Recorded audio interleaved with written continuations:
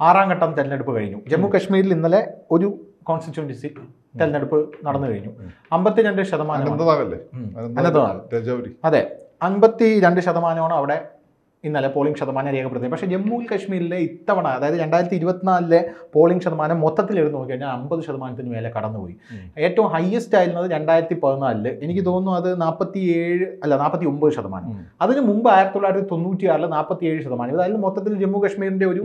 കണക്കെന്ന് പറയുന്നത്. ഇത്തവണ highest polling ആണ്. നമ്മുടെ രാജ്യം മൊത്തത്തിൽ എടുത്ത് നോക്കുമ്പോഴും പല ഭാഗങ്ങളിലും വളരെ കുറഞ്ഞ പോളിംഗ് ആണ് എന്ന് പ്രതിപക്ഷം വാദിക്കുന്ന സ്ഥലത്താണ് ജമ്മു കാശ്മീരിൽ മുന്നൂറ്റി എഴുപതൊക്കെ റദ്ദാക്കിയ ശേഷം ജമ്മു വളരെ ഗംഭീരമായിട്ട് തിരിച്ചു വരുന്നു എന്ന് പറഞ്ഞാൽ നരേന്ദ്രമോദിക്കുള്ള ഒരു അംഗീകാരം കൊടുക്കുന്നു എന്നുള്ള രീതിയിലാണ് ബി ജെ പിക്കാർ ഇതിനെ വ്യാഖ്യാനിക്കുന്നത്.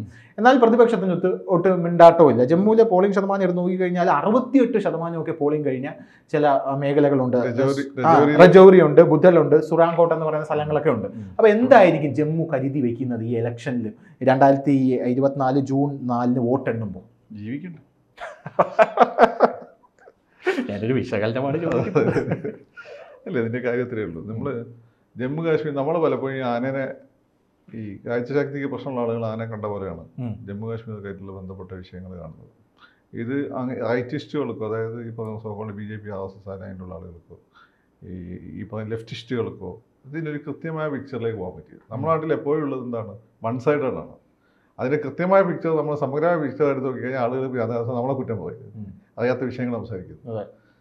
ഇതിന് പല മാനങ്ങളുള്ളൊരു പ്രശ്നമാണ്. നമ്മളിപ്പം ഇവിടെയുള്ള നിങ്ങൾ ലെഫ്റ്റിസ്റ്റുകളോടോ അല്ലെങ്കിൽ ഈ പറയുന്ന ഈ ജിഹാദി എലമെൻസിനോടോ നിങ്ങൾ സംസാരിച്ചു കഴിഞ്ഞാൽ അവർ പറയാന്ന് വെച്ചാൽ അവിടെ ജനങ്ങൾ അടിച്ചാമത്താണ് ഇന്ത്യ ഗവൺമെന്റ് തോന്നിയാസാണ് പട്ടാളം അത് ചെയ്യുന്നു ഇത് ചെയ്യുന്നു. ശരി ശരി സംഭവിച്ചു എന്താണ്? പാക് കാശ്മീർ ഒന്നും നിങ്ങൾ ആസാദ കാശ്മീർ ഒന്നും നല്ല വെടിവെത്ത മലയാളത്തിൽ പറയുന്ന സ്ഥലത്തിൽ എന്താ. സ്ഥിതി? പ്രക്ഷോഭം നടക്കുകയാണ്. എന്താ സ്ഥിതി? ഇവിടെ ഇന്ത്യൻ പാർലമെന്റ് അവർക്ക് അഞ്ച് ജമ്മു കാശ്മീരിൽ അഞ്ച് സീറ്റുകളുണ്ട്. ഉണ്ടല്ലോ. അവിടെ അടുത്ത സംസ്ഥാന പദവി ഉണ്ടായിരുന്നു. നിങ്ങളെ കയ്യിലിരിക്കൊണ്ടാ പോയി കിട്ടിയത്. നിയമസഭ ഉണ്ടല്ലോ. നിങ്ങൾ തീവ്രവാദം തുടങ്ങിയപ്പോൾ ഇടക്കാലത്ത് ഇലക്ഷനൊക്കെ നിർത്തിവെച്ച് പട്ട ഈ പറഞ്ഞ റെസിഡൻഷ്യൽ റോൾ കൊണ്ടുവരേണ്ടത്. അപ്പോഴത്തെ എന്താ സ്ഥിതി? പൈസാൻ പാകിസ്ഥാൻ പാർലമെന്റിൽ ഇവർക്ക് മെമ്പർമാരില്ല. മനസ്സിലായില്ലേ? അവർ പാകിസ്ഥാന്റെ ഭാഗമായിട്ട് അവർ അംഗീകരിച്ചിട്ടില്ല. എന്നാൽ അവിടെ കിട്ടുന്ന എല്ലാ റിസോഴ്സും അവന്മാരെടുത്തുണ്ട്. അതായത് ഇത് നോമാൻസ് പാകിസ്ഥാനെ സംബന്ധിച്ച് പാകിസ്ഥാൻകാർ പാക അധിനിവിഷ്ട കാശ്മീർ അതായത് അവരുടെ അസാദ് കാശ്മീർ ജീവിക്കുന്ന കാശ്മീരികളെ മുസ്ലിങ്ങളാണ് രണ്ട് മുസ്ലിങ്ങളാണ് എന്നാൽ അവരെ കാണുന്നത് രണ്ടാനമ്മ ഇവിടെ കണ്ണോട് കൂടിയാണ് നമ്മളങ്ങനെയാണ് കാണുന്നത്. അതാണ് ഒന്നാമത്തെ പ്രശ്നം. അപ്പോൾ you compare Jammu Kashmir with Pak occupied Kashmir. ഇവിടെ സുഖമാണ് അതെ. ഭൂമിയിലെ സുഖം എന്നല്ല വിളിക്കുന്നത്. മറ്റു ഭൂമിയിലെ നരകമുണ്ടെങ്കിൽ അവിടെ അവിടെ ഇതിന്റെ വലിയ വിവാദമായ സംഭവമുണ്ട് പാകിസ്ഥാനിൽ. ഒരു പതിനാല് പതിനേഴ് വയസ്സുള്ള ഒരു പയ്യനെ അവിടെ തൂക്കിക്കൊന്നു. ഈസ് ഫ്രം പാക് അധിനിഷ്ഠ കാശ്മീർ ജോലിക്ക് വേണ്ടി ഇസ്ലാമാബാദിലോ കഥാസിനെ പോയത്. ഉം. അപ്പോൾ ആരോ ചെയ്ത ഒരു കാര്യം ഇപ്പോൾ അവൻ പയ്യന്റെ തലയിൽ വന്നു. വലിയ പ്രശ്നമായി പോയത്. അതായത് അവർക്ക് ബേസിക് ആയിട്ടുള്ള രാഷ്ട്രീയമായിട്ട് രാഷ്ട്രീയ അധികാരങ്ങളോ മൗലിക അധിക അവകാശങ്ങളോ പോലും അവിടെ പാക അധിനിഷ്ഠകാരെയും ഭൂരിപക്ഷം വരുന്ന മുസ്ലിം ജനവിഭാഗത്തിന് മുസ്ലിം ഇസ്ലാമിക് ഇസ്ലാമിക രാജ്യമായിട്ടുള്ള ഇസ്ലാമിന്റെ പേരിൽ ഉണ്ടാക്കപ്പെട്ട രാജ്യമായ അവിടെ ഇല്ല. അത് വെച്ച് നോക്കുമ്പോൾ നമ്മുടെ ജമ്മു കാശ്മീരിന്റെ എന്താ സ്ഥിതി? ജമ്മു കാശ്മീർ നമുക്ക് ചില അബദ്ധങ്ങളൊക്കെ പറ്റിയിട്ടുണ്ട്. ഇല്ലാന്ന് ഞാൻ പറയുന്നത് ആയിരത്തി തൊള്ളായിരത്തി എൺപത്തേഴിലെ ഇലക്ഷൻ കോൺഗ്രസ്സുകാർ റിഗ് ചെയ്താണ് സത്യത്തിൽ പൊട്ടിത്തെറിയിലേക്ക് പോയത്. അത് ഇലക്ഷൻ ജനാധിപത്യ ആളുകൾ വിശ്വാസം നഷ്ടപ്പെടും ഈ വോട്ട് വോട്ടിംഗ് മെഷീനായിട്ട് ഇത്രയും ബന്ധ- ഒരുപാട് ബന്ധപ്പെട്ട വിഷയങ്ങൾ ആളുകൾ ഉയർത്തും ഞാൻ എന്താ മൈൻഡ് ചെയ്യാത്തത്? ഇത് തൊട്ട് കഴിഞ്ഞാൽ ഈ ജനാധിപത്യത്തിൽ വിശ്വാസം പോയി. അത് ഫൈനലി കോടതി തീരുമാനിക്കട്ടെ. നമ്മളെ നമ്മളപ്പോൾ ഇതിനെപ്പറ്റി ടെക്നോളജിക്കൽ നോഹം ഇല്ലാത്ത ആളുകൾ എന്തോന്ന് പറയുന്നത് ഉം. ഓരോരുത്തർ ഒരു ഞാനൊക്കെ ബേസിക്കലി ഒരു പി ജി എങ്കിലും ഉള്ള ആളെന്ന് ചോദിച്ചാൽ പി എച്ച് ഡി ഉണ്ട്. ഇത് ഒരു ധാരണ ഇല്ലാത്ത ആളുകൾ ഇന്ന് പറയുന്നത് ഒതന്റിക് ആയിട്ട് ആ മൊത്തം റിഗ് ചെയ്ത് അങ്ങനെയാണ് ഇങ്ങനെ. അങ്ങനെ പറഞ്ഞ് ഇതിൽ വിശ്വാസം ഉണ്ടാകുമോ. നമ്മൾ എവിടെയെങ്കിലൊക്കെ വിശ്വസിക്കണ്ടേ? ബാലറ്റ് പേപ്പറിലേക്ക് തിരിച്ചു പോകണമെന്നാണ് പറയുന്നത് അല്ല ഫൈനലി കോടതി പറഞ്ഞു ഇനി ബാലറ്റ് പേപ്പർ ഞാൻ ചോദിക്കട്ടെ. പണ്ട് ഇന്ദിരാഗാന്ധിന്റെ കാലഘട്ടത്തിൽ ഇവിടെയുള്ള ഇപ്പം ബാലറ്റ് പേപ്പറിൽ തിരിച്ചു പോകണം എന്ന് പറയുന്ന ആളുകൾ അറിയുന്ന ആളുകൾ സംഭവമുണ്ട്. ബാലറ്റ് പേപ്പറിൽ റഷ്യയിൽ നിന്ന് കൊണ്ടുവന്ന പ്രത്യേക കമ്മ്യൂണിസ്റ്റ് റഷ്യയിൽ നിന്ന് കൊണ്ടുപോയ പ്രത്യേക മഷി ഉപയോഗിച്ചിട്ട് വേറെ ഏത് ചിഹ്നത്തിന് വോട്ട് ചെയ്താലും മയഞ്ഞു പോകുന്ന രീതിയിലാക്കിയിട്ടുണ്ട്. അതുകൊണ്ടാണ് കോൺഗ്രസ് ജയിക്കുന്നത്. ഇത് പണ്ട് ഈ പറയുന്ന ഗിൽക്രിസ്റ്റിന്റെ പിന്നെ കളി കണ്ടിട്ട് സ്പ്രിങ് വെച്ച് തന്നിട്ടുണ്ട് ധ്യാൻചന്ദിന്റെ കളി കണ്ടിട്ട് ഹോക്കി സ്റ്റിക്കിൽ എന്താ കാന്തം വെച്ച് തന്നിട്ടുണ്ട് ജയസൂര്യയുടെ കളി കണ്ടിട്ട് ബാറ്റിൽ സ്പ്രിങ് ആ ഇമാതിരിയുള്ള ആർഗ്യുമെന്റ്സ് ആണ് ഇത് ഇത് ഒതന്റിക് ആയിട്ടാ പറയാം അതല്ല പ്രശ്നം. നമ്മളൊക്കെ ഇതൊക്കെ പറയുമ്പോൾ പോസിറ്റ് അല്ലേ പറയാം. ഒതന്റിക് ആയിട്ട് ഇവനാണ് ഇവിടുത്തെ ആയതായിട്ട് ഒപ്പീനിയൻ മേക്കേഴ്സ് അപ്പോൾ കാശ്മീരി ജനങ്ങളെ സംബന്ധിച്ച് അന്ന് റിഗ് ചെയ്തു എന്നുള്ളതായി നമ്മളത് പറഞ്ഞപ്പോഴാണ് ഇങ്ങോട്ട് വന്നത്. അതവിടെ ജന ആളുകൾക്ക് ജനാധിപത്യത്തിലുള്ള വിശ്വാസം നഷ്ടപ്പെടാൻ കാരണമായിട്ട്. അതോട് കൂടിയിട്ടാണ് ഫിൽ ഫില്ലോ ഫില്ലോ ചെയ്യുന്നത്. പിന്നെ ഈ പറയുന്ന തീവ്രവാദം അവിടെ ഫില്ലോ ചെയ്യുന്നത്. പക്ഷേ വേറൊരു പ്രശ്നമുണ്ട്. എന്താണ് പ്രശ്നം? അതൊരു സംഭവത്തിലൂടെ പെട്ടെന്ന് പൊട്ടിത്തരാം പക്ഷേ അതിന് അനുകൂലമായ സാഹചര്യം അവിടെ സൃഷ്ടിക്കപ്പെട്ടത് അത് ആ സമയത്ത് വരുത്തുന്നത് അപ്പോൾ കോൺഗ്രസ് ആയതുകൊണ്ടാണ് ഞാൻ Congress government B J P ആണെങ്കിൽ നമ്മൾ ബി ജെ പി തന്നെ അറിയാം. അവിടെ ഇന്ത്യ ഭരിച്ചിരുന്ന കോൺഗ്രസ് ഗവൺമെന്റും അതുപോലെ തന്നെ ജനതാ പാർട്ടി ഗവൺമെന്റും ഭരിച്ചിരുന്നല്ലോ. ഈ മൊഹാജി ദേശായി ഇവരെല്ലാം തന്നെ ഒരു ഘട്ടം കഴിഞ്ഞപ്പോൾ ഇവരോട് ചെറിയ ചിറ്റമ്മനായം കാണിച്ചിട്ടുണ്ട്. ഫറൂഖ് അബ്ദുള്ള ഒരു പരിധി കഴിഞ്ഞപ്പോൾ നിലപാട് മാറ്റി അയാൾ പിടിച്ച് തടങ്കലിടേണ്ടി വന്നിട്ടുണ്ട്.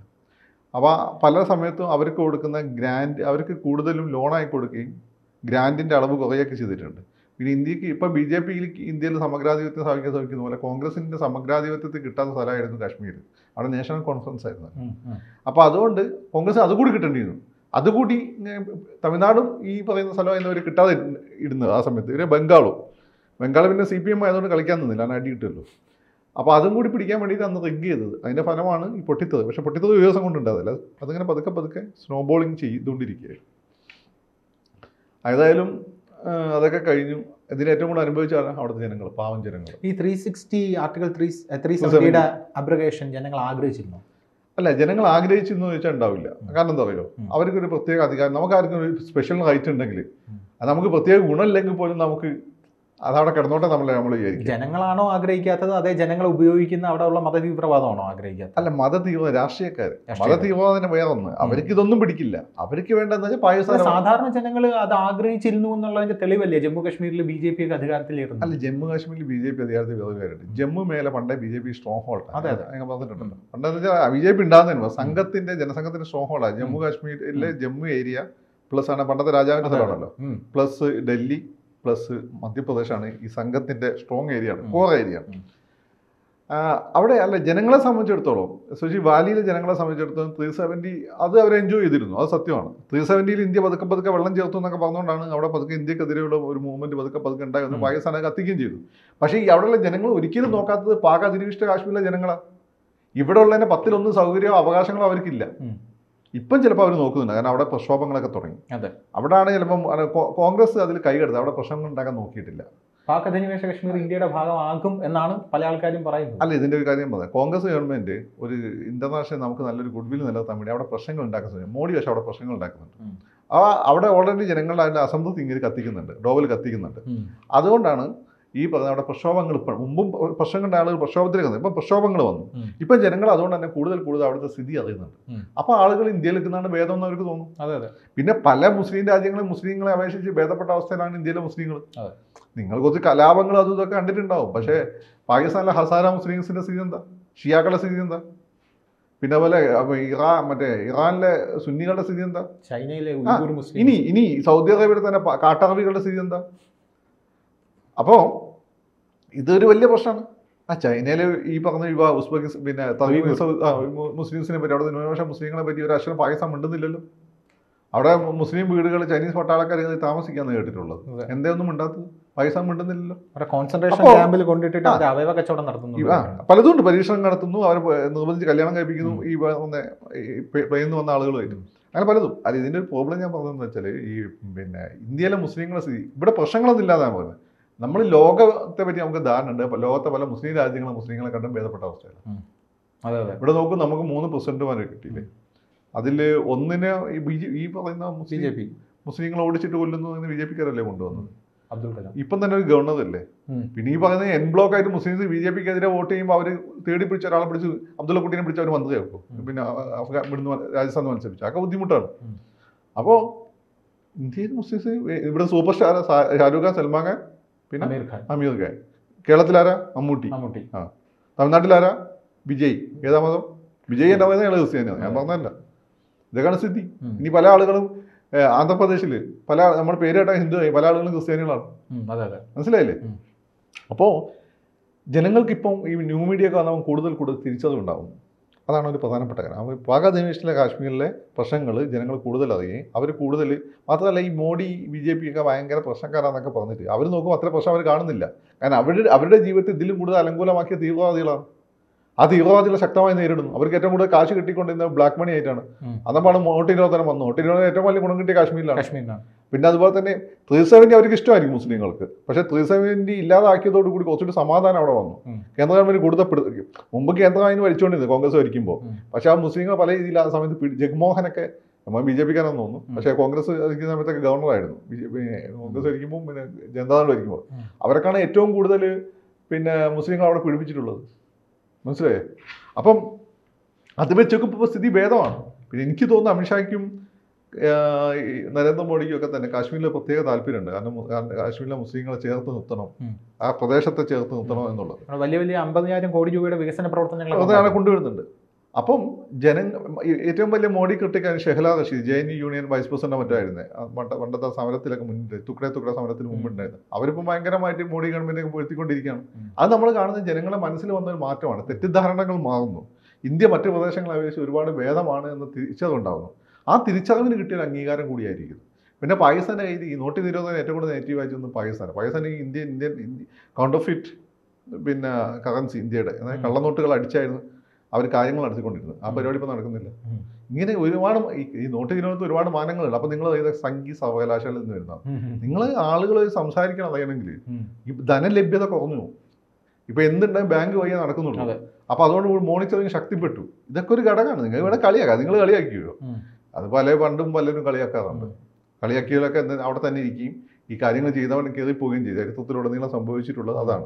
അപ്പോൾ കാശ്മീരിൽ ഈ ഭേദപ്പെട്ട ടേൺ ഔട്ടിന് അത് എന്റെ കാശ്മീരിൽ അത് റിഫ്ലക്റ്റ് ചെയ്യുന്നുണ്ട്. ഒരു പ്രദേശത്ത് മാത്രം ജമ്മുവിന് മാത്രമല്ലല്ലോ റിഫ്ലക്റ്റ് ചെയ്യുന്നത്. അപ്പം അത് റിഫ്ലക്റ്റ് ചെയ്യുന്നത് അത് ചിലപ്പം ഏറ്റവും കൂടിയ പോളിംഗ് ആയിരിക്കില്ല.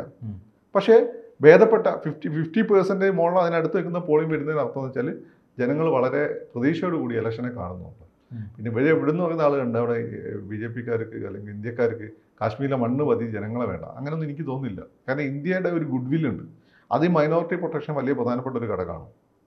ബി ജെ പിക്കാരും ഈ പറയുന്നത് നിങ്ങൾ ബി ജെ പിക്കാർ ഈ മൈനോറിറ്റിനെ ഓടിക്കുന്നത് മറ്റേ വിചാരധാര മറ്റേ സൈഡ് വായിച്ചിട്ടല്ലേ. അത് അവർ തന്നെ എടുത്ത് കളഞ്ഞത്.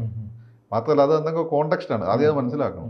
അതല്ല ബി ജെ പിയെ സംബന്ധിച്ചിടത്തോളം ഇന്ത്യയുടെ ഇമേജ് എന്ന് വെച്ചാൽ ഈ പറയുന്ന ശരിയായ സെക്കുലറിസം മുന്നോട്ട് വെക്കുന്ന രാജ്യം എന്ന് എഴുതി അല്ലെങ്കിൽ ലോകത്തെ ഏത് രാജ്യത്ത് അത്രമാത്രം പിന്നെ ഇംഗ്ലണ്ട് ജനാധിപത്യത്തിന്റെ തറവാടല്ലേ? ഇപ്പോഴല്ലേ ഒരു ഹിന്ദു അവിടുത്തെ പ്രസിഡന്റ് എന്താ മുസ്ലിം ആയില്ലല്ലോ? മേയറൊക്കെ ആയിട്ടുള്ളൂ. ഇന്ത്യ നിങ്ങൾ നോക്കൂ. മനസ്സിലായില്ലേ? ഇവിടെ എ കെ ആന്റണി വരെ പ്രസ- പ്രധാനമന്ത്രി ആവുന്ന അവസ്ഥ ഉണ്ടായിരുന്നു. അത് ചെറിയൊരു മാറ്റം വന്ന എ കെ ആന്റണി ആയിരുന്നു പ്രധാനമന്ത്രി. ഇതൊക്കെ നിങ്ങൾക്ക് ഇന്ത്യയിൽ മാത്രമേ ഇമേജിൻ ചെയ്യാൻ പറ്റും. ആദ്യം നിങ്ങൾ അത് മനസ്സിലാക്കും എന്നിട്ട് ഈ ബീച്ചുകളുടെ കുറ്റം പറയും. ഇപ്പം അവിടുത്തെ ഉയർന്ന ടേൺ ഔട്ട് കാണുമ്പോൾ ഇനിയിപ്പോൾ എന്താ പറയാൻ പോകുന്നത്? പേടിച്ചിട്ടാണ്. മോഡീനെ പേടിച്ചിട്ടാണ്. അല്ലെ കള്ളവോട്ട് കള്ള വോട്ട് ചെയ്ത. പിന്നെ വേറെ ഒരു വേറൊരു കാര്യമുണ്ട്. പണ്ഡിറ്റുകൾ തിരിച്ചു പോയി വോട്ട് ചെയ്തു. പണ്ഡിറ്റുകൾക്ക് രണ്ട് സൗകര്യം ചെയ്തു കൊടുത്തു. ഒന്നെങ്കിൽ നിങ്ങൾക്ക് സ്പെഷ്യൽ ബൂത്തുകൾ ഇൻ പേഴ്സൺ പോയി വോട്ട് ചെയ്യാം. ഇവരുടെ താമസിക്കുന്ന സ്ഥലങ്ങളിൽ ഇവരുടെ സെറ്റിൽമെന്റുകളിൽ ഒന്ന് രണ്ട് സ്ഥലത്തെ കുറച്ച് സ്ഥലത്താണ് ഉണ്ടാക്കിയിട്ട് അല്ലെങ്കിൽ നിങ്ങൾ പിന്നെ പോസ്റ്റൽ ബാലറ്റ് ചെയ്യാം. അങ്ങനെ പരമാവധി ജനങ്ങളെ വോട്ട് ചെയ്യാൻ കൊണ്ടുവന്നു. അവിടെ വോട്ട് ചെയ്യണം. പണ്ഡിറ്റുകൾക്ക് വോട്ട് ചെയ്യണ്ടേ. അവിടുത്തെ ഏറ്റവും ആദിമ നിവാസികൾ പെട്ടാണല്ലോ പണ്ഡിറ്റുകൾ. അപ്പം കാശ്മീരിനെ സംബന്ധിച്ചിടത്തോളം നമുക്ക് പ്രതീക്ഷ നൽകുന്ന ഒരു കാര്യമാണ്. കാശ്മീരിൽ ഇന്ത്യയെ ഇന്ത്യയിൽ ഇന്ത്യൻ ജനാധിപത്യത്തിൽ കാശ്മീരിലെ ജനങ്ങളുടെ വിശ്വാസം ശക്തമാകുന്നതോടുകൂടി നമ്മൾ പകുതി ജയിച്ചു. പാകിസ്ഥാനെതിരെയുള്ള നമ്മുടെ നിരന്തരമായ പോരാട്ടത്തിൽ നമ്മൾ പകുതി ജയിച്ചു. കാരണം കാശ്മീരിനെ വെച്ചുകൊണ്ടാണ് അവർ കളിച്ചുകൊണ്ടിരിക്കുന്നത്. പിന്നെ അവർക്ക് കാശ്മീരിനെ ഫോക്കസ് ചെയ്യാൻ പറ്റും. മാത്രമല്ല ഇന്ത്യ ഇപ്പോൾ അസേർട്ട് ചെയ്ത് തുടങ്ങി. അതാണ് അവിടെ മറ്റേടത്ത് പ്രശ്നമായി തുടങ്ങിയത്. അതിന് ഇന്റർനാഷണൽ വേദികൾ പാക അധിനിവേശിച്ച കാശ്മീരാണ് ഈ ജമ്മു ആൻഡ് കാശ്മീരല്ല കൂടുതൽ ചർച്ച ചെയ്യാൻ പോകുന്നത്. ഇത് വളരെ പ്രതീക്ഷ ഒരു നിങ്ങൾ ഈ രാജ്യത്തോട് നിങ്ങൾക്ക് എന്തെങ്കിലും ഒരു കൂറൊക്കെ ഉണ്ടെങ്കിൽ ഭരിക്കുന്ന നരേന്ദ്രമോദി മൻമോഹൻ സിംഗ് ആരെങ്കിലും ആവട്ടെ ഇത് വളരെ ശുഭോദാക്കമായ ഒരു സൂചനയാണ്. അത്രേ ഉള്ളൂ. കൂടുതൽ വാർത്തകളും വിശേഷങ്ങളും നിങ്ങളിലേക്ക് എത്താൻ A B C Malayalam subscribe ചെയ്യുക. ബെൽബട്ടനും അമർത്തുക.